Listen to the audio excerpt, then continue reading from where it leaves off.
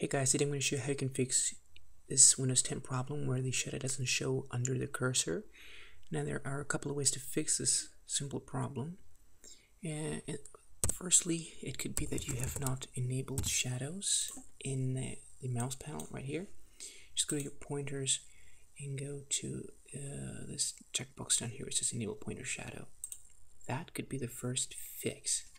The second fix is it goes to, if you go to advanced settings. And down there you got under under performance settings. Uh, you need to check this box here as well. Maybe these both have been unchecked and that could be the first problem.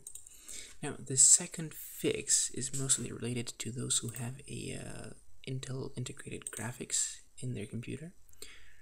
Now to fix this problem and before I go any further actually I'm going to show you if the second fix is possible or not. So before I go further into the fix go to your pointer options in this mouse properties window of course and then check display pointer trailers. I'm sorry trails. If if the shadow appears after you click on that then this fix will, will fix this problem. What you gotta do is you go to regedit and then you need to go to H key current user control panel and then you click on mouse. And then here you need to double click on mouse trails and then change the value data to minus one. What this does is it it tricks Windows into thinking there are trails under the pointer but there actually are no trails.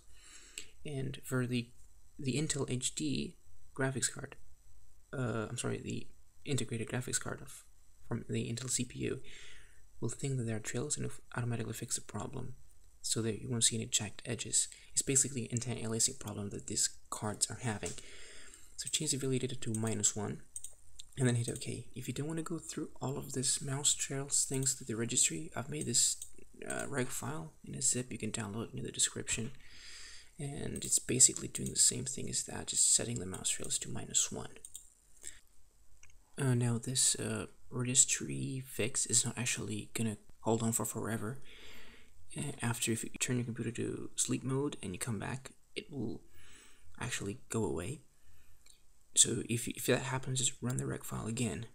And after you run the reg file, you need to reboot the computer or you simply just sign out and sign back in. Uh, you don't have to re reboot the whole computer if you don't want to. Now these are the fixes. Another fix that could probably fix it for you, it did actually fix it for me, and that's why I didn't set mouse trails to minus one on my computer. The Windows Anniversary update did fix it for me. So if you have not downloaded that yet, go ahead and download it and give it a go. Maybe it could fix uh, this problem. And the last fix that I could suggest you is you go ahead and download the latest drivers for that integrated graphics card from Intel or any other graphics card if, if it's not Intel for you. So thanks for watching. I hope this fix helped you.